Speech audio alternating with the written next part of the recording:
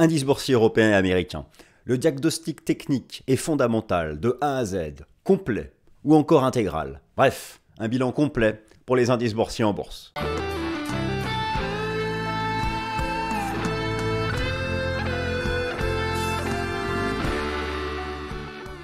Alors chers amis, bienvenue à la nouvelle édition du Top Gun de ce lundi 27 février 2023. Je suis ravi de vous retrouver. Chers amis, permettez-moi une petite introduction particulière. Je sais que vous aimez bien les, vidéos rapides, euh, parler rapidement, traiter le sujet rapidement. Dans ce format, pour ce lundi 27 février, permettez-moi s'il vous plaît de faire quelque chose de différent. J'ai envie, j'ai tout préparé, vous inquiétez pas, de prendre le temps, de refaire un panorama après les deux premiers mois de l'année. Et alors que l'inflation se montre résiliente, c'est ce qu'ont démontré les chiffres de vendredi dernier aux États-Unis, j'ai envie de reprendre, avec le recul, tous les aspects fondamentaux et techniques pour les indices boursiers européens et américains. Un diagnostic complet. Alors on va faire ça par étapes. D'ailleurs, donc je vais prendre le temps de le faire, s'il vous plaît. Je sais que ce... mettez-moi un petit like, un petit pouce bleu comme on dit, pour me, démontrer quand même que ce type de format vous plaît. On va prendre le temps de le faire. Alors pour ceux qui sont impatients et qui euh, euh, vont peut-être trouver que je vais parler trop lentement, eh bien regardez la timeline, la ligne de temps de la vidéo. J'ai tout chapitré. Voilà, il y a une dizaine, voire peut-être un peu plus de points. J'ai tout chapitré, donc vous pouvez aller directement là où ça vous intéresse, euh, ou revenir plus tard, parce que je pense que la vidéo là va durer euh, plus que le format habituel de 25-30 minutes. Mais il est temps de faire le point parce que euh, la résilience de l'inflation interroge. Et le débat reste parfaitement ouvert entre ceux qui pensent que nous pouvons encore avoir un grand bear market de type 2001 2002 ou encore 2008-2009, et ceux qui pensent que le retracement actuel est une opportunité de se placer dans le sens d'une relance de la tendance haussière. Pour répondre à cette question, il faut qu'on passe en revue tous les fondamentaux. L'inflation, euh, les perspectives de bénéfices, la probabilité d'une récession, le cycle des taux d'intérêt, la valorisation boursière, et puis tous les aspects techniques qui concernent les indices boursiers, le marché action, le positionnement euh, institutionnel, les indicateurs de sentiment, euh, des ratios, des baromètres, euh, les données de gestion d'actifs. Enfin voilà, vous n'allez pas vous ennuyer. Alors chers amis, le plan va s'afficher sous vos yeux, le diagnostic fondamental et technique de A à Z pour les indices boursiers américains et européens. Voici tous les points dont nous allons parler. pour les fondamentaux, la résilience, le point sur les, données d'inflation, et ça c'est vraiment le, le, thème du moment, puisqu'effectivement, Vendredi dernier, euh, vous l'avez forcément noté, euh, euh, a été mis à jour aux États-Unis l'indice des prix PCE. PCE, c'est l'indice des prix que suit l'inflation et surprise, oh mauvaise surprise, scénario noir, rebond, rebond du taux d'inflation. Alors certes, il ne revient pas tout en haut. Nous sommes encore quand même dans une phase baissière de l'inflation depuis le mois d'octobre dernier, mais c'était complètement inattendu eu égard au fait que les taux d'intérêt sont passés de 0 à 5% et encore pour certaines entreprises, beaucoup plus. Et euh, clairement, ce n'est pas suffisant pour le moment pour briser l'inflation dans ses fondements. Alors, d'ailleurs, le recul de, l'inflation a été essentiellement dû au recul du prix de l'énergie. Il y a des sous-composantes qui ne reculent pas encore, mais ça, on va regarder ça en détail. Donc, résilience de l'inflation, où en est la probabilité d'une récession, les bénéfices prospectifs à horizon 12 mois, les actions sont-elles chères en termes de valorisation? Et tout un tas euh, d'éléments techniques euh, que nous allons passer en revue pour ces indices européens euh, et, US. Et encore une fois, hein, si vous trouvez que la vidéo est trop longue et que je m'artasse sur certains sujets, vous avez donc, vous pouvez regarder la barre de temps et chaque partie est segmentée. vous avez les, titres directs de chaque partie plus en détail dans la description de la vidéo et vous pouvez en fait juste cliquer sur le minuteur et aller directement à la partie qui vous intéresse. Alors commençons par le commencement parce que c'était euh, vraiment la mauvaise surprise de vendredi dernier. Fondamentaux, le point sur la résilience de l'inflation et l'impact sur les taux d'intérêt du marché.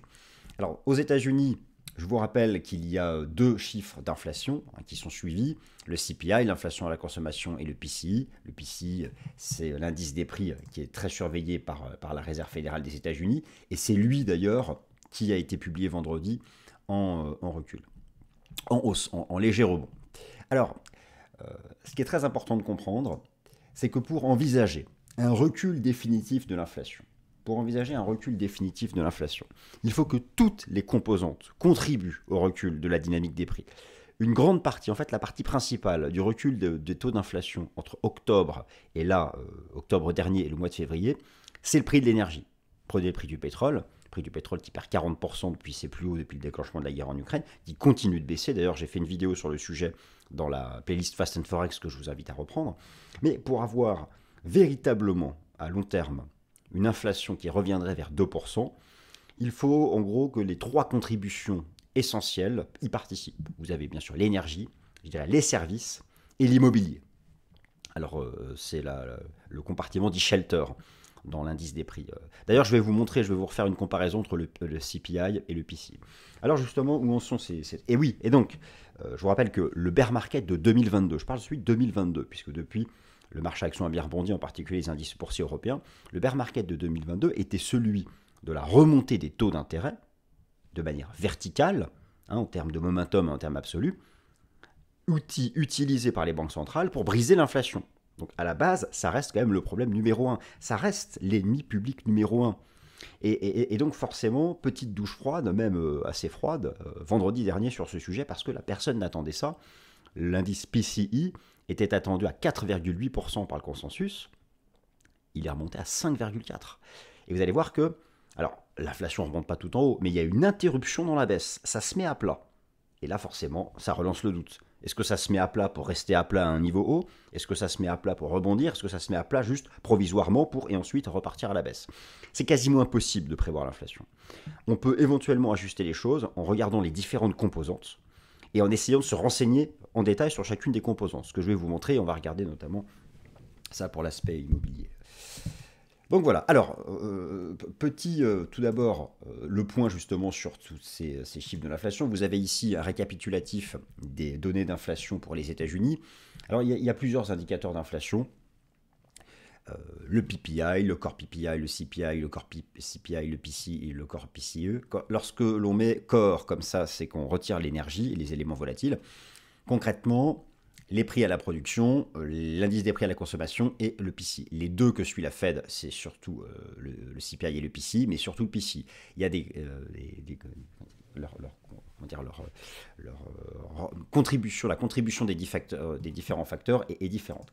Alors concrètement, les courbes sont en baisse, mais oh mauvaise surprise, mauvaise surprise, rebond. Voilà ce qui a créé une petite douche froide sur le marché vendredi dernier. On va le montrer comme ça. Voilà. Vous allez me dire, oui, bon, bah, c'est bon, il n'y a pas mort. Oui, mais s'il y a quand même mort. Non, il n'y a pas mort d'homme, effectivement, mais il y a quand même stress pour le marché.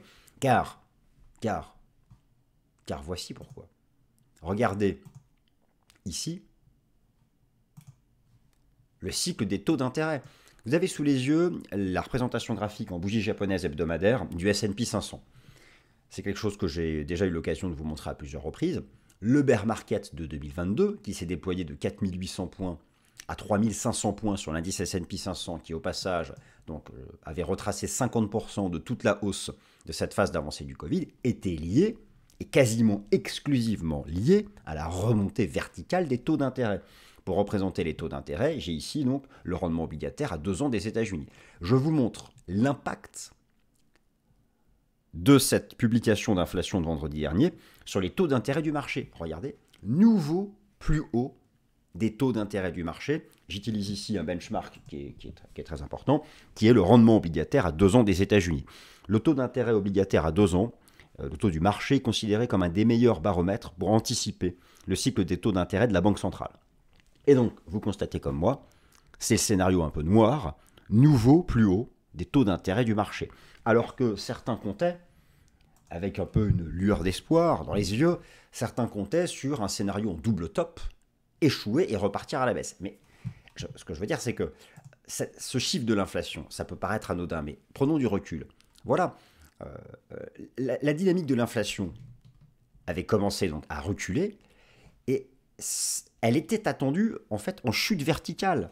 Tellement les taux d'intérêt non seulement sont remontés vite, mais surtout sont à des niveaux élevés. Les coûts de financement sont, à des niveaux suffisamment élevés qui devraient commencer à contraindre l'économie, le ralentissement économique devrait se produire et, le ralentissement économique est désinflationniste. Sauf que là, eh bien, euh, le débat n'est pas tranché en termes de probabilité de récession, j'y viens plus tard, mais voilà, c'est quand même une mauvaise nouvelle ce rebond de l'inflation. Me direz-vous, c'est peut-être transitoire. Alors il faut qu'on regarde justement à l'intérieur. Mais pour qu'elle recule définitivement cette inflation, euh, je vais vous montrer d'ailleurs la contribution de l'énergie maintenant. Elle est revenue, euh, elle est revenue à zéro.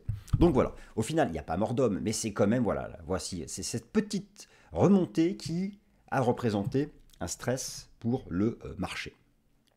Alors, les fameuses contributions de l'inflation, c'est ce dont je parlais tout à l'heure.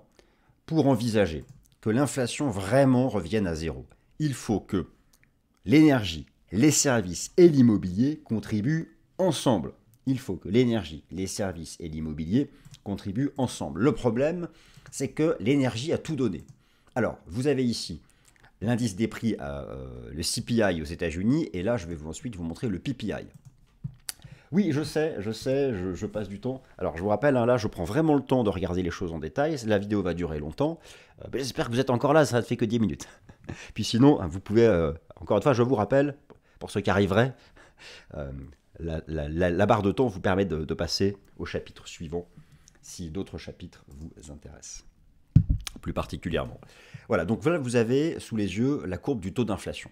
Alors oui, euh, le CPI euh, de 9,1 récemment à 6,4, c'était déjà une déception. Le PCI, comme je viens de vous montrer, lui rebondit. Regardez la contribution de l'énergie. La courbe bleue. C'est la chute libre depuis euh, quelques, quelques mois, eu égard en particulier à la chute du prix du pétrole et du gaz naturel européen. Je vous renvoie à ma vidéo Fast and Forex que vous, avez sur la chaîne où j'évoquais cette baisse du pétrole. Donc très bien. Le problème, c'est que justement, l'énergie arrive plus ou moins à la ligne de zéro. Donc l'énergie ne peut plus vraiment, alors sauf à voir le prix du pétrole chuter vers les 30 dollars, mais ça, pour ça, il faudrait une vraie récession, l'énergie ne va pas contribuer davantage à la baisse du taux d'inflation. Pour que l'inflation aille à 2%, la cible de la Fed, il faut que Shelter contribue. Shelter, qu'est-ce que c'est? En grande partie, ce sont les loyers dans l'immobilier. Regardez la courbe, vous avez le sentiment qu'elle baisse. Alors attention, car les données dans l'indice des prix d'inflation de Shelter, les données des loyers, sont les contrats de location qui ont été établis il y a déjà plusieurs mois. C'est ça qui est intéressant. Et lorsque vous regardez, lorsque vous regardez l'équivalent de sites comme euh, de particulier à particulier, le Bon Coin Immobilier, euh, bref, les sites internet de LOC, mais leurs équivalents aux États-Unis, qui sont donc les données actuelles, eh bien, les loyers commencent à chuter. Alors que dans ces indices d'inflation, ce sont les contrats de loc, mais d'il y a six mois. Donc voilà, vous voyez ce que je veux dire? On peut commencer à se projeter que le taux d'inflation dans six mois va intégrer les données actuelles qui, elles, là, sont vraiment en baisse. Ça, c'est plutôt une erreur d'espoir pour l'inflation. Mais le problème, c'est que si d'ici là l'énergie remonte, ça va encore se neutraliser. Est-ce que vous comprenez mon raisonnement? Et enfin, les services. Et eux, les services, eh bien, nos amis les services, moi l'énergie, j'enlève shelter. Bon, bah, c'est pareil, ça baisse pas.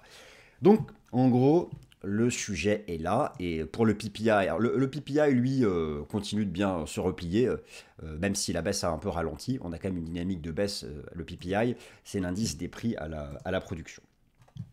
Donc, fondamentaux, le point sur la résilience de l'inflation et le cycle des taux d'intérêt, c'est une mauvaise surprise ce rebond de l'indice des prix PCE. En plus, c'est l'indice que suit la Fed. Mais rien ne dit que ce n'est pas juste une stabilisation provisoire avant de rebaisser plus tard. Pour cela, il faut continuer de surveiller le prix du pétrole. Pour l'instant, l'analyse technique continue de dévoiler un message baissier. Alors, sauf élément exceptionnel, j'ai fait une vidéo précise sur le sujet du pétrole dans la playlist Fast and Forex il y a deux semaines, et elle est encore parfaitement valable. Maintenant, lorsque euh, l'on regarde en détail la composition du PCE, qui a été publié vendredi dernier. Le problème, c'est les services. Il est, il est, les services sont surreprésentés dans le PCE par rapport au CPI. Et malheureusement, le prix des services est encore en hausse. Et pour ça, pour briser la hausse du prix des services, il n'y a que l'impact à venir des, taux d'intérêt. Cette année, de nombreuses entreprises vont, euh, comment dire, euh, renouveler leur, financement. Hein. Un autre, un, crédit arrive à maturité, il faut le rembourser, puis on a encore besoin de lever des fonds. Ben, on refait un crédit, sauf que là, les taux sont plus à zéro. Hein, pour les entreprises, c'est entre 5 et 10 et en prenant du triple A au triple C pour la notation de crédit. Donc, ça va finir par exercer une contrainte sur les marges. Il y aura forcément une réduction de l'activité économique. Et cette réduction de l'activité économique, elle est désinflationniste. Elle est désinflationniste. Mais nous n'en sommes pas là. Pour l'instant, ce n'est pas le cas et le prix des services se maintient à un niveau élevé. Donc on verra pour le prochain chiffre, euh, pour le prochain chiffre d'inflation. Alors vous voyez, ça fait déjà 15 minutes, on en est qu'à la partie numéro 1 des fondamentaux, sachant qu'il y a plein de points fondamentaux et techniques. Voilà. Alors, encore une autre façon de vous montrer ici le recul des taux d'inflation. Ce que je trouve intéressant dans ce graphique qui est proposé par Guru Focus, hein, j'affiche ici euh, à droite la, source. Ce qui est intéressant, c'est que l'on voit en fait que derrière un recul de courbe d'inflation, il y a différentes composantes qui agissent et il faut qu'elles avancent ensemble pour permettre vraiment un vrai recul de, l'inflation. Fondamentaux, le point sur la résilience de l'inflation. Alors, pour ceux qui se demandent comment cela se fait que vendredi dernier, l'indice des prix, donc PCE, le PCE, les compositions du PCE, la composition, les composantes, pardon, décidément, du PCE se trouvent ici, et pour le CPI, c'est ici. Va, si vous voulez, euh, zoomer. Ce qui, la vraie différence, la vraie différence entre les deux, la vraie différence, c'est le poids des services dans le PCI. Le poids des services 13,4 et si vous, si vous regardez euh, les, mêmes chiffres pour le CPI dans cette colonne, on voit que c'est moins important. Donc, en grande partie, et mais la, Fed l'a toujours dit, la Fed l'a toujours dit, l'énergie, globalement, sauf si le pétrole continue de baisser encore, a, a contribué à réduire le taux d'inflation. Les shelters, on sait que ça arrive parce que les données dans les indices d'inflation sont en retard, mais lorsqu'on regarde là les, tout nouveaux contrats de lock qui sont signés sur les sites internet les plus sensibles aux données actuelles, on voit que ça baisse. Donc c'est les services. Le jour où nous observerons un retournement baissier de la composition service des indices d'inflation, c'est bon, on est sauvé. Pour l'instant, ce n'est pas le cas.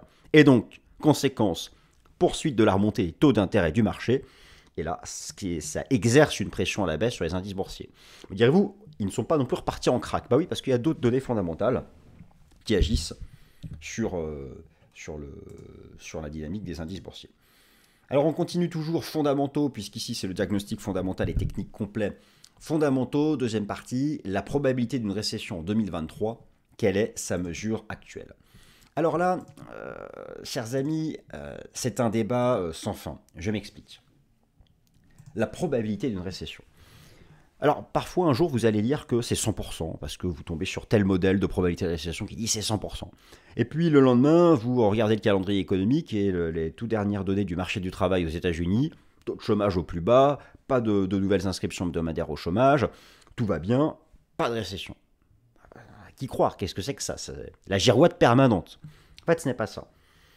Chaque, chaque composante de l'économie a ses indicateurs. Si vous prenez le marché du travail, effectivement, on ne voit pas de récession. Très bien. Si vous prenez les indicateurs avancés, les indices Purchasing Manager Index, c'est ambivalent. Euh, du côté des services, non. Pour le secteur manufacturier, oui. Ça voit venir une récession.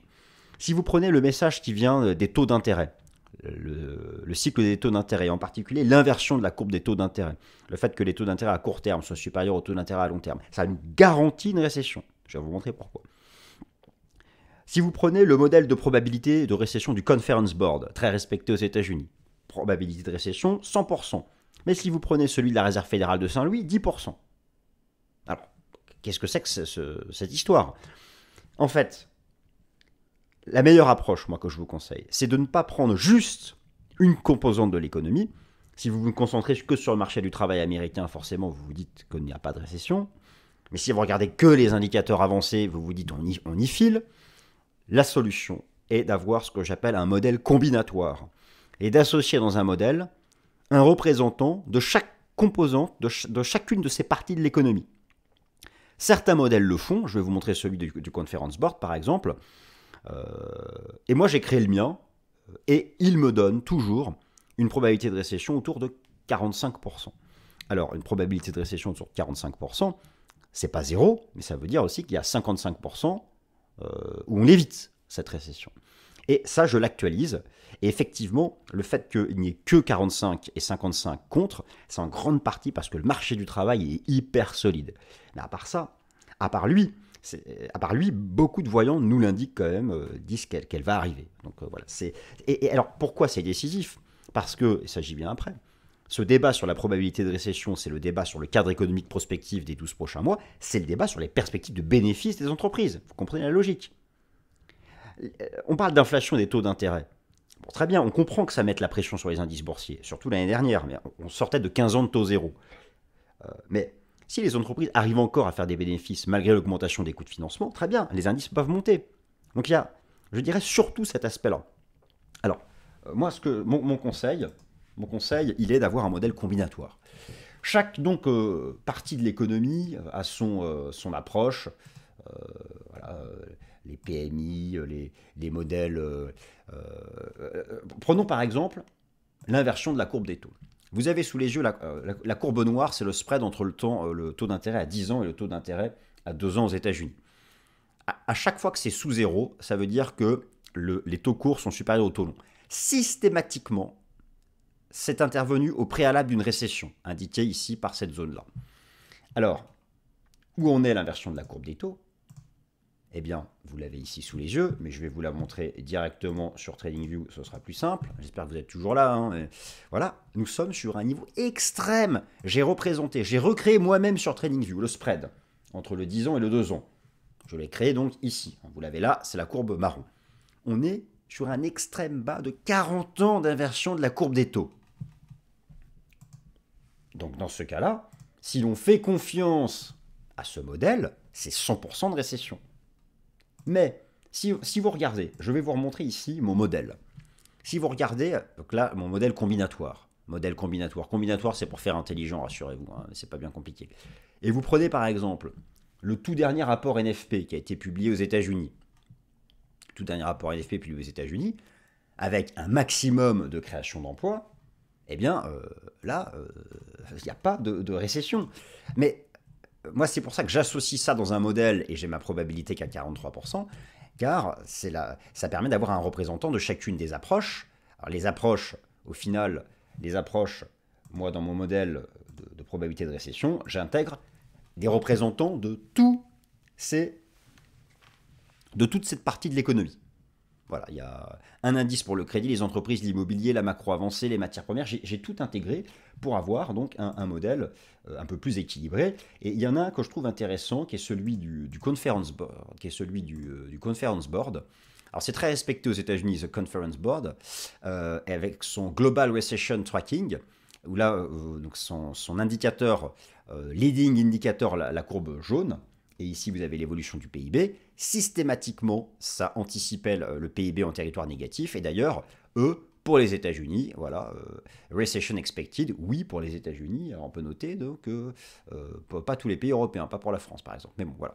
Donc, écoutez, on, comprend, nous comprenons toutes et tous l'importance de ce débat parce que le débat de savoir si nous allons être en récession ou pas, c'est le débat sur les perspectives de bénéfices, c'est la base de l'évolution des actions, du marché action, des grands indices boursiers. Maintenant, ce n'est vraiment pas tranché. Je dirais que tant que le marché du travail reste solide, c'est quand même euh, quelque chose de concret, les entreprises ne licencient pas, c'est que tout va bien. Mais le jour où elles vont voir leur marge se réduire, à un moment ou à un autre, ce sera vraiment là où on verra peut-être une inflexion sur la, la, remontée des inscriptions hebdomadaires au chômage, ou la remontée du taux de chômage, et là, ça veut dire que les choses se compliqueront. Mais en attendant, en fait, cette année 2023, elle juge de paix. Les, entreprises renouvellent leurs conditions de financement au nouveau taux d'intérêt. On va voir si elles en ont assez dans le ventre pour faire face. Et, de là, donc, derrière, la suite. Fondamentaux, partie numéro 3, les anticipations de bénéfices d'entreprises pour l'année 2023 restent donc, comme je vous le disais, étonnamment optimistes. C'est le critère de base. Il s'agit ici du critère de base de la, euh, de la valorisation, les anticipations de bénéfices. Alors, vous avez plusieurs choses ici sur euh, ce graphique. Les données ici viennent de, de.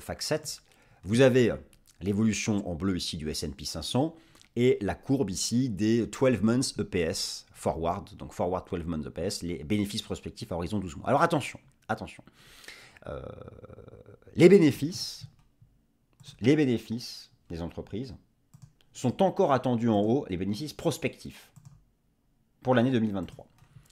Vous avez ici les données de Y-Charts, avec les bénéfices prospectifs pour les quatre trimestres de l'année 2023. Ils sont attendus, vous voyez, en hausse hein, par rapport à, ce dont on vient, à ce dont on vient là sur la dernière partie de, 2022. ils sont encore attendus en hausse. Mais alors me direz-vous, ces bénéfices euh, prospectifs, comment cela se fait-il que la courbe des 12 months forward EPS soit en tendance baissière C'est parce qu'en fait, les bénéfices prospectifs, la courbe ici des, euh, des bénéfices euh, forward recule parce qu'ils étaient attendus encore plus en hausse. En fait, concrètement, ici, les bénéfices prospectifs ici étaient, il y a encore euh, quelques semaines, attendus encore un peu plus en hausse. Et donc la courbe ici des 12 months forward EPS, elle a commencé à reculer parce que voilà, euh, ces, anticipations absolues qui ont été révisées en baisse, mais qui sont quand même toujours supérieures à ce qu'on a eu à la fin du dernier trimestre 2022. Bon bref, tout ça pour dire que ces bénéfices prospectifs restent étonnamment euh, optimistes, eu égard aux, nouvelles conditions de, taux d'intérêt, euh, même si on commence à sentir que ça se tend un peu dans le discours de certaines entreprises, restent encore confiantes. Mais bon, à voir.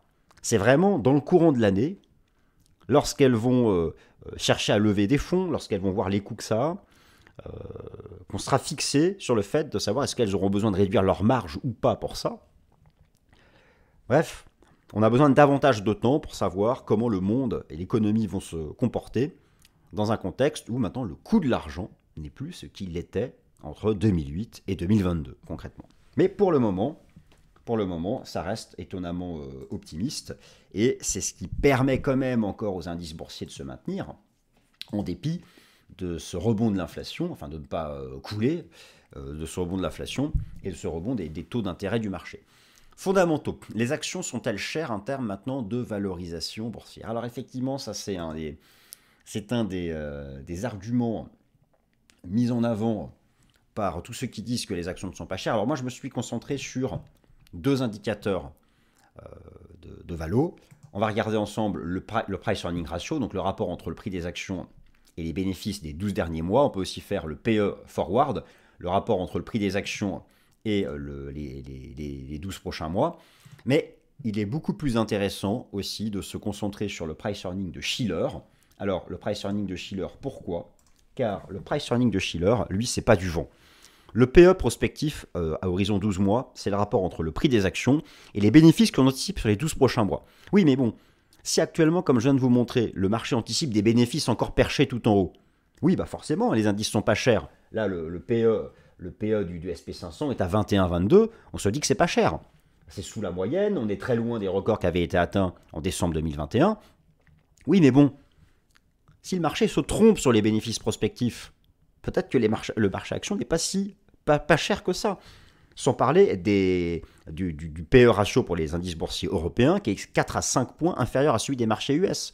C'est pour ça d'ailleurs que les indices européens sont remontés tout en haut, car ils sont vus comme étant moins chers par la finance internationale, mais eu égard au fait que pour le moment, on anticipe encore des bénéfices très élevés. C'est pour ça qu'il faut faire attention avec cette histoire de valorisation à un instant T. C'est pourquoi moi je vous conseille d'utiliser le price earning de Schiller, qui compare le prix des actions non pas au bénéfice des 12 derniers mois, au bénéfice des 12 prochains mois, mais au bénéfice des 10 dernières années. Le bénéfice des 10 dernières années, et en plus c'est retraité, corrigé de l'inflation. Alors, ce que vous allez voir, ce qui est intéressant, c'est qu'en utilisant ce PO de Schiller, eh bien, le point bas le point bas d'octobre dernier, 2022, du SP500, c'est lorsque le PE Chiller était revenu pile poil à sa moyenne historique, à 26. Alors là, il a rebondi, mais on est quand même très loin des excès de, décembre 2021, qui avait été le point de départ du, euh, du, bear market. Alors je vais vous montrer ça. On va zoomer ici sur les données euh, qui sont proposées par l'excellent site Guru Focus. Vous avez donc en bleu le, price earning, alors le TTM, hein, le, euh, sur le, rapport entre le prix des actions et les 12 derniers mois, mais comme à horizon 12 mois, ça reste perché tout en haut, c'est à peu près pareil. Et le PO Chiller, bon, voyez ici le point bas. Alors ici, c'était en octobre dernier, le point bas du, S&P 500. Le point bas du S&P 500, je vais vous montrer ça directement sur TradingView. Voilà. Le point bas ici du S&P 500, on avait un PO Chiller de 27. Et qu'est-ce que c'est? Bien regardez, ici vous avez la moyenne des ratios de valorisation sur les, 20 dernières années. Et bien la, moyenne pour le PE Schiller, c'était 26. Donc en fait, on a rebondi sur la moyenne. Alors maintenant, où est-ce qu'on en est? Nous sommes revenus avec le rebond du SP500 à un PE de Schiller de 30. 30, oui, c'est un rebond, mais on est très loin des 39 qui avaient été atteints ici en décembre 2021. Donc, effectivement, effectivement, D'un point de vue du, du PE classique, prospectif, les actions ne sont pas chères. Mais il ne faut pas qu'on se plante sur les anticipations de bénéfices, qui, elles, me, semblent étonnamment encore trop perchées. Je pense que beaucoup trop optimistes, eu égard à la remontée des coûts de financement, les taux d'intérêt du marché. Euh, et, les taux d'intérêt du marché continueront de monter tant, qu'on n'aura pas déjà vaincu l'inflation, mais surtout tant qu'on n'aura pas identifié avec quasi-certitude le moment où les, banques centrales pivoteront. Ça, on en parle ici, j'en parle ici chaque semaine, et euh, vous connaissez le topo c'est-à-dire lorsqu'elles mettront un terme à leur cycle aussi des taux d'intérêt et qu'elles recommenceront à baisser leurs taux d'intérêt. Ce qu'elles feront uniquement quand l'inflation sera vaincue ou si vraiment on entre en récession? Pour l'instant, a priori, ce n'est pas le cas. Mais lorsqu'on regarde donc le PE de Schiller, eh bien, euh, somme toute, oui, on a rebondi de 26 à 30, et elles sont, c'est encore relativement pas cher. Et là, on prend que les bénéfices des 10 dernières années. Hein. Donc c'est, un peu plus... Euh, c'est un, peu plus percutant. Donc voilà où nous en sommes pour la euh, valorisation. Alors, euh, je vais continuer maintenant. Eh bien, voilà, chers amis, la partie fondamentale est terminée. La partie fondamentale est terminée. Maintenant, on se fait un gros topo technique, pareil, en 6 ou 7 parties. Elle va durer une heure, hein, finalement, cette vidéo. Elle va durer une heure. Je ne sais pas si vous allez regarder pendant une heure, mais bon. Alors maintenant, où en sommes-nous sur le plan technique, diagnostic technique et fondamental complet pour les indices boursiers européens et US, sachant qu'en plus en fin de vidéo, on va reprendre les graphiques en temps réel? partie technique. Tout d'abord, je me suis intéressé à la part du cash dans les portefeuilles. La part du cash dans les portefeuilles. Alors, ce que vous devez comprendre, c'est que donc en, allocation d'actifs, concrètement, un gérant d'actifs, euh, il, a soit du cash des, ou des actions, des obligations. Hein. je, je simplifie volontairement. Dans les marchés baissiers, le poids relatif du cash suit une tendance haussière. Dans les bear markets, dans les vrais bear markets, la part des liquidités augmente, c'est défensif. Les fins de marché baissier, les fins de marché baissier ont toujours été indiquées par un retournement à la baisse de la tendance du poids du cash dans le portefeuille des gérants.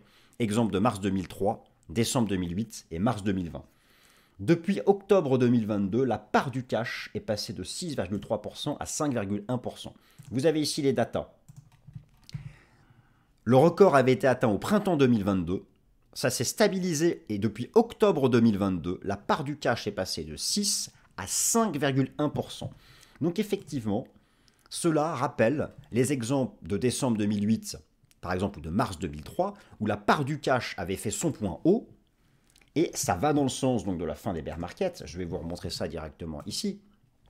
Vous avez ici donc mars, mars, euh, mars 2003. Mars 2003, c'était la fin de ce grand bear market. Et ici, vous avez mars 2009. Voilà. C'était presque la fin.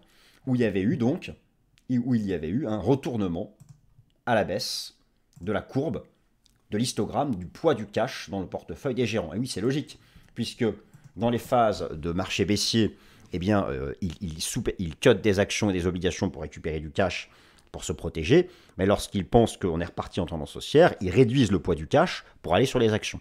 On est passé de 6,3% de poids du cash en moyenne en allocation d'actifs chez les gérants à 5,1%. Donc ça, ça va plutôt dans le sens d'un retour de leur confiance. Et d'autre part, 5%, euh, la moyenne est à, est à 3,8-4%. Donc ça veut dire que les gérants ont encore du cash à investir sur le marché action. Ils en ont encore de disponibles.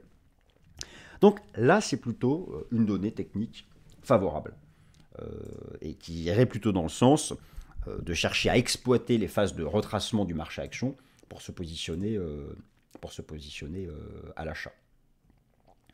Alors, technique, toujours partie technique, le message de l'analyse quantitative multi-horizon de temps pour la mesure de survente et la mesure du surachat. Vous allez voir, alors là, c'est passionnant. Pour l'analyse quantitative, je vais utiliser ici le pourcentage d'actions vis-à-vis le pourcentage d'actions du S&P 500 au-dessus des moyennes mobiles simples à 20, 50 et, 200 jours. Pour la tendance court terme, ce sont, euh, je vais utiliser les moyennes à 20 et 50 jours. Et pour la tendance long terme, la moyenne mobile à 200 jours. Je vous avais montré. Je vous avais montré. Vous avez vu, depuis début février, on est entré en, correction. Début février, je vous avais montré ça dans un Top Gun. Le pourcentage d'actions du S&P 500 au-dessus de la moyenne mobile à 20 jours était à, son niveau excès, dans son excès haussier, dans sa zone d'excès haussier. Le pourcentage d'actions du S&P 500 au-dessus de la moyenne mobile à 50 jours était aussi en zone d'excès haussier. Il y avait un surachat technique court terme. Et vous allez voir que les indices boursiers là vont arrêter de corriger dès lors que le pourcentage d'actions au-dessus de la moyenne mobile simple à 20 jours et la moyenne mobile simple à 50 jours seront revenus sur une zone de plancher. Pour ce qui est de la moyenne mobile simple à 200 jours, en fait, on a déjà fait le retournement haussier. Là, ça va aussi plutôt dans le sens que le bear market a vraiment été terminé à 3500 points en octobre dernier. Alors, je vous montre maintenant les données, le topo complet sur l'ensemble de ces données, où est-ce que, est que nous en sommes. Alors, donc, euh, alors ça, on peut, retirer, euh, ça aussi, voilà. Alors, tout d'abord, début février, voilà, mettre le, SP, le SP500, voilà, début février, ok, point de départ de la correction du, du S&P 500. Quelle était la situation début février? Début février, vous aviez, regardé, vous aviez, au tout début février, le pourcentage d'actions du S&P 500 au-dessus de la moyenne mobile à 50 jours qui était revenu sous sa résistance. Au même moment, au même moment, début février, le pourcentage d'actions du S&P 500 au-dessus de la moyenne mobile à 20 jours était aussi sous résistance. Et c'était le contraire, le point bas d'octobre. Regardez, et le point bas d'octobre dernier. Octobre dernier, le point bas à 3500 points du S&P 500, qu'est-ce que c'était? C'était à la fois une zone de support sur le pourcentage d'actions de S&P 500 au-dessus de la 200 jours. Et lorsque je vois ça, je me dis que voilà, le bear market s'est terminé en octobre dernier, qu'il faut plutôt utiliser les replis, les, exploiter les replis pour se positionner. Mais surtout, voilà, regardez en octobre, il y avait à la fois sur support le pourcentage d'actions du S&P 500 au-dessus de la moyenne mobile à 20 jours, à la fois sur support le pourcentage d'actions du S&P 500 au-dessus de la moyenne mobile à 50 jours, c'était le point. Et eh bien là, début février, c'était le contraire. Donc encore un peu de patience. Il faudra revenir à l'achat court terme sur le S&P 500. Dès lors que vous aurez la combinaison d'un retour sur support, du pourcentage d'actions au-dessus des moyennes mobiles à 50 et 20 jours. 20 jours, on y est presque. 50, nous en sommes qu'à la moitié du chemin. Toujours pour la diagnostic technique, évolution récente de la liquidité nette globale du système financier. Alors, euh, il, y a, il y a une corrélation positive historique entre la tendance en bourse et le niveau général de liquidité. Le niveau général de liquidité est lié directement à la politique monétaire pratiquée par, les banques centrales. Alors concrètement, euh, actuellement, le niveau général de liquidité se réduit depuis que les banques centrales ont euh, adopté une politique monétaire dite restrictive. Politique monétaire restrictive pour lutter contre l'inflation. Pour ça, vous connaissez le topo. Vous allez voir, je suis frappé. J'ai trouvé une corrélation entre l'évolution de la liquidité nette globale, alors concrètement c'est le bilan de la Fed, moins le compte de trésorerie, moins les opérations de reverse repo, et la dynamique du S&P 500, et même du cours du Bitcoin. Vous allez voir donc là, il y a un lien très fort entre ce niveau général de liquidité et la dynamique des actifs risqués en bourse. Eh bien, euh, le repli là, du S&P 500, en fait, depuis une semaine, deux semaines, il y avait un nouveau, une nouvelle baisse de la courbe de la liquidité nette globale aux États-Unis. Et il y avait une divergence avec le SP500 qui, se maintenait. Et bien là, en fait, c'est juste un, réalignement. Alors ça, c'est assez passionnant. Je vais vous montrer ça directement sur, sur, euh, sur TradingView. Alors hop, vous l'avez ici, voilà. Voilà, je, zoome. Donc vous avez, vous avez en bleu la liquidité nette globale. Et là, le SP500, bien voyez, le SP500, la liquidité avait commencé, donc vous, constatez comme moi, hein, l'alignement entre en jaune, cours du Bitcoin, le, en vert le SP500 et en bleu la liquidité nette globale. On voit très bien que le point haut de décembre 2021, c'est lorsque les banques centrales ont commencé à réduire euh, les, les, la liquidité au sein du système financier. Donc là, je prends l'exemple des États-Unis. Eh bien, à court terme, dans l'immédiat, il y avait une divergence. Le SP500 se maintenait, la liquidité avait commencé à baisser. Ben, en fait, voilà, ça se réaligne. Donc, voilà. Euh, ça, ça va être très important à suivre pour la suite, euh, du, parce que clairement, tant que l'inflation n'est pas vaincue, il n'y a pas de raison que cette liquidité continue, reparte à la hausse, puisque justement, en réduisant la liquidité, la Banque centrale espère, eh bien, euh, espère pour de bon euh, réduire, euh, impacter comme ça l'inflation. Et pour l'instant, ce n'est pas le cas. Donc attention, ça c'est quelque chose qui là, va contraindre dans l'immédiat le, le S&P 500. Alors toujours dans le diagnostic technique, le positionnement institutionnel net, sur les indices US et les taux d'intérêt à la bourse de Chicago. Alors, ça c'est très important. Les données, euh, les données alors aux États-Unis, tout est public. Vous avez euh, le, rapport Commitment of Traders de la CFTC, le rapport Commitment of Traders de la CFTC, qui est le régulateur américain des, des contrats futurs, qui dévoile chaque vendredi, et c'est ça qui est magique, les données de positionnement des traders pro. Donc il y a les asset managers et les traders de hedge fund sur les contrats futurs et les contrats d'options, des indices boursiers, des taux d'intérêt, du marché d'échange, des cryptos. Tout est public. Tout est public, mais tout est publié avec un décalage. En général, le décalage est de 4-5 jours. Donc ça permet quand même euh, d'associer ça à l'analyse technique classique. Alors, où en sont ces données de positionnement institutionnel? Je vous avais montré il y a un mois que les institutionnels US venaient de repasser net acheteur c'est-à-dire que les positions longues venaient de dépasser les positions short pour la première fois depuis début 2022 sur le Russell 2000, les 2000 plus importants de capitalisation boursière US. En fait, où en sont maintenant ces données institutionnelles? Eh bien, malheureusement, chers amis, il y a un problème. C'est complètement inédit. La CFTC rencontre un problème technique. Depuis un mois, les données n'étaient plus publiées. Je vais vous montrer ça. Alors, je vous rassure, ça, vient d'être mis à jour, donc euh, ne partez pas. Regardez. Voilà alors, le, message a été mis à jour sur le site de la CFTC. Il y a eu une cyberattaque, un cyberincident. Et depuis donc fin janvier, les données n'étaient plus mises à jour. Et enfin, hier, enfin, pardon, vendredi dernier, ils ont mis à jour, mais il y a du coup du retard, parce qu'ils n'ont pas publié le mois de données manquantes, mais simplement le rapport du début du mois de février dernier. Donc nous avons en fait là de disponible le rapport du début du mois de, février dernier. Donc euh, malheureusement, on ne sait pas exactement encore ce qu'ont fait les institutionnels dans cette phase de baisse récente du S&P 500, des 4100 points aux 3950 points. Mais tout de même, j'ai les données au 3 février dernier, et il y a quand même des choses qui sont intéressantes, alors je vais vous montrer. Donc justement, alors attention, hein, là j'insiste, malheureusement les données que je vais vous montrer s'arrête à, voilà, à peu près ici, hein, sur le S&P 500. Donc on avait les informations ici. Il va falloir attendre maintenant les, je pense, ils le disent, ils ont dit ça environ une, quinzaine de jours pour avoir à nouveau la publication avec seulement 4 jours de décalage. Et moi j'ai hâte d'avoir les, prochains rapports à jour pour savoir exactement ce qu'ils ont fait dans cette phase-là. Mais donc, je vous remontre ici par exemple le, pour, le, pour Russell 2000.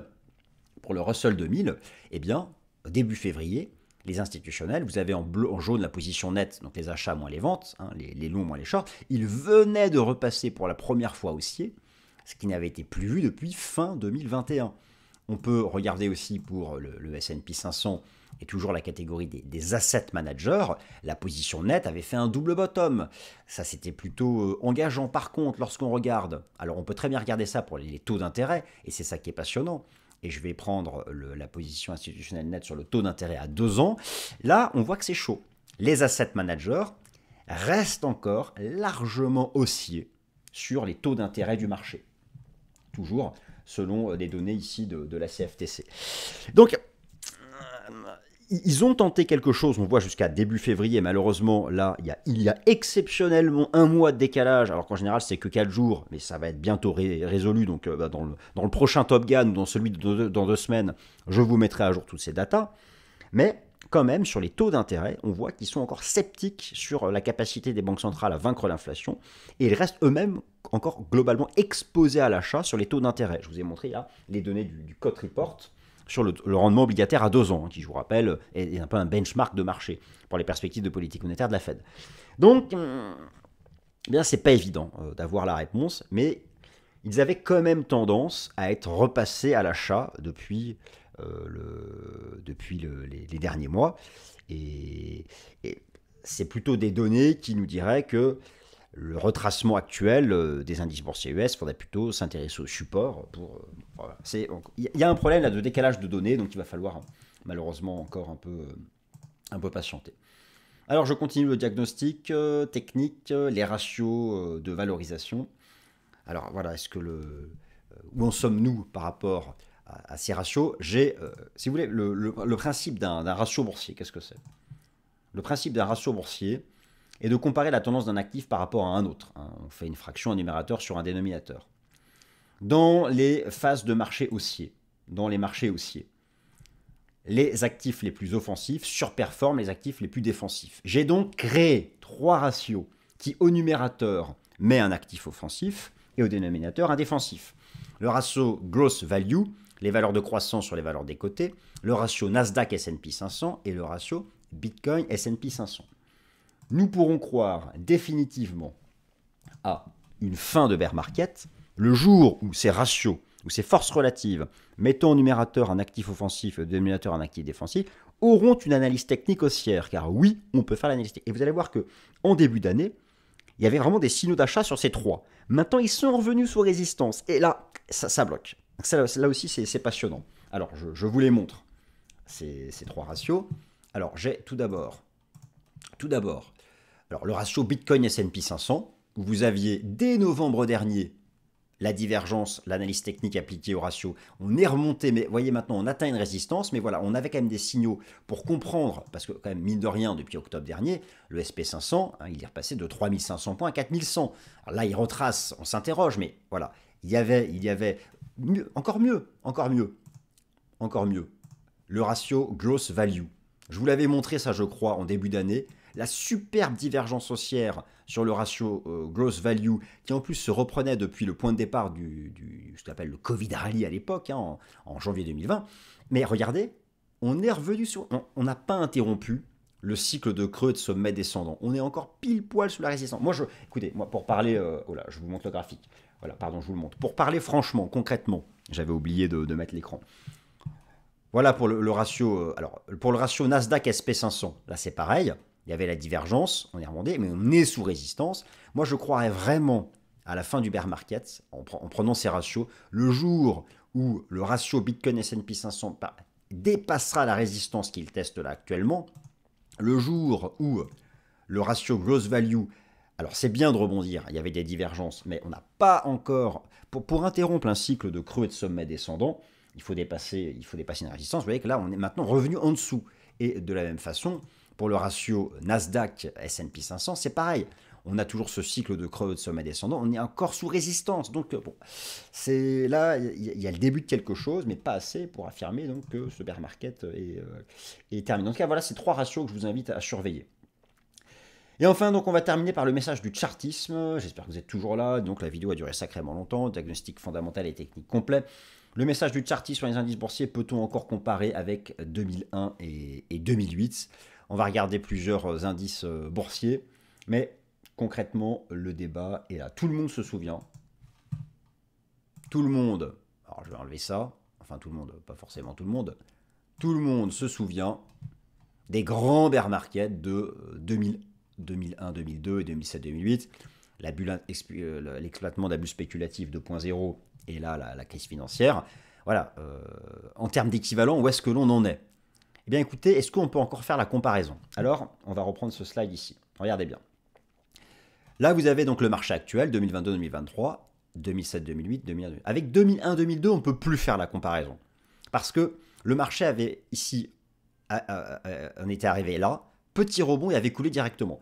Par contre, effectivement, si vous comparez 2022 et 2023 avec 2007-2008, il y a beaucoup de points communs. Il y a l'épaule tête-épaule. Il y avait donc la première baisse, ici, le premier rebond, ici on a eu le, premier, euh, premier rebond, on était revenu en bas, 2007-2008, revenu en bas 2022-2023, et sauf qu'à l'époque on avait directement échoué et on avait coulé. Là, on est revenu ici en termes d'équivalent de comparaison. Donc, on ne peut plus faire la comparaison avec 2001-2002. Peut-on encore la faire avec 2007-2008 euh, le fait, alors ça reste encore possible. Je vais euh, remontrer ici euh, sur le, directement sur le site. voilà. si on s'était arrêté là, la comparaison tenait encore la route, mais là on a repris tout ça. Donc je pense que on ne peut plus faire la comparaison ni avec 2001, 2002, ni avec 2007, 2008. Par contre, maintenant, voilà, où en sont les, indices, les indices boursiers? Il y a une hypothèse que les gens écartent, mais qui, peut tout à fait se mettre en place, qui est celle du, du trading range. Vous avez ici le S&P 500, le contrat futur S&P 500 en données hebdomadaires. Bon, très bien. le rebond d'octobre, 50% de retracement, là il y avait des divergences, tout ça, mais maintenant tout ça a bien fonctionné.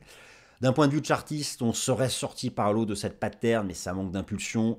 La moyenne mobile à 30 semaines, qui est chère à Stan Weinstein, revient. Alors là, c'est un point d'important hein, sur lequel on, est revenu. Si vous prenez les enseignements du système Ishimoku, on a bloqué sous la SSB. En fait, moi, je me dis, au final, tant que l'inflation n'est pas vaincue, il y aurait un scénario qui serait ni 2001-2002, ni 2007-2008, qui serait celui-là. Du range, en fait, vous les voyez bien, on voit bien ici cette espèce de phase latérale. Donc dans le meilleur des cas, le S&P 500 parvient à rebondir ici. Donc en fait, concrètement, à rebondir sur sa moyenne mobile à 200 jours pour trouver la trendline. Et on retente quelque chose, mais c'est vrai que lorsqu'on voit les données de l'inflation publiées vendredi dernier, euh, on n'a pas trop envie d'y croire, et lorsqu'on voit les taux d'intérêt non plus. Mais le scénario qui me semble, moi, crédible, tant que l'inflation n'est pas vaincue, tant qu'il y a un débat sur la probabilité de récession, etc., sur les perspectives de bénéfices, sur toutes les choses qu'on a vues en début de vidéo, pourquoi pas imaginer une très longue phase latérale qui pourrait se déployer entre 3500 points et 4002 Bon, ça reste le scénario qui semble le plus réaliste. Euh, maintenant, il y a quand même des données de marché que je vous ai montré tout à l'heure, de retour des institutionnels qui me font quand même revenir à 3500 points me paraîtrait euh, franchement euh, trop pessimiste. Donc voilà, là en, tout cas en, début de semaine, ce lundi, le marché va batailler ferme dans la zone actuelle et, faire son choix hein, entre soit ce long trading range ou parvenir à se remobiliser sur cette zone support et tenter, tenter quelque chose. si vous prenez les, marchés actions européens, on va prendre le, contrat futur Eurostox 50 qui est benchmark. Pourquoi les marchés actions européens, eux, corrigent? Écoutez, parce qu'eux, ils sont remontés tout en haut. Là, c'est pareil, euh, on peut très bien corriger sans que ça nuise. La phase haussière des marchés actions européens est incroyable. Prenez l'Eurostock 50, qui est le contrat à terme le plus traité, on peut parfaitement revenir s'appuyer ici et repartir.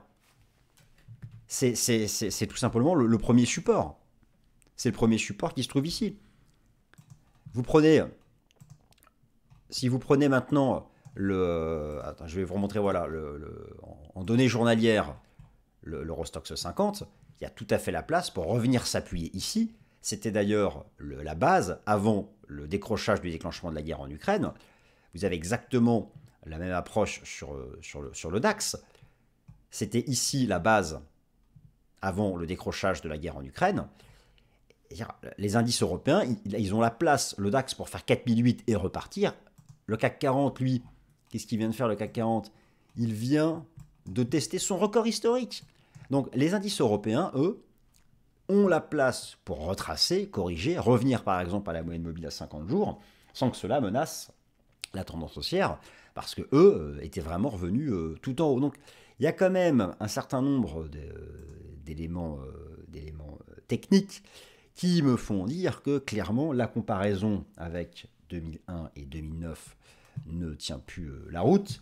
Et pour conclure, je dirais que maintenant le marché va attendre pour voir. Vous savez, on dit qu'une euh, un agrégat de conjoncture économique compte dès lors qu'il est validé deux mois d'affilée. Bon, là, il y a eu un petit rebond de l'inflation PCE.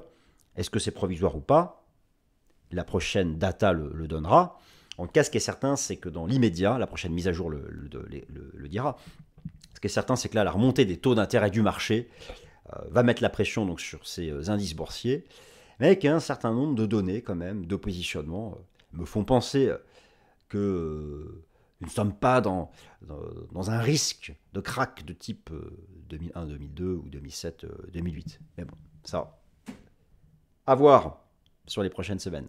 Voilà, chers amis, écoutez, j'espère que cette longue vidéo vous a plu. Elle était dans un format inhabituel, euh, mais que vous, avez pu naviguer en, vous baladant sur la barre de temps. Quant à moi, je vous remercie de m'avoir écouté. Et puis, je vous souhaite un excellent début de semaine. Merci à tous.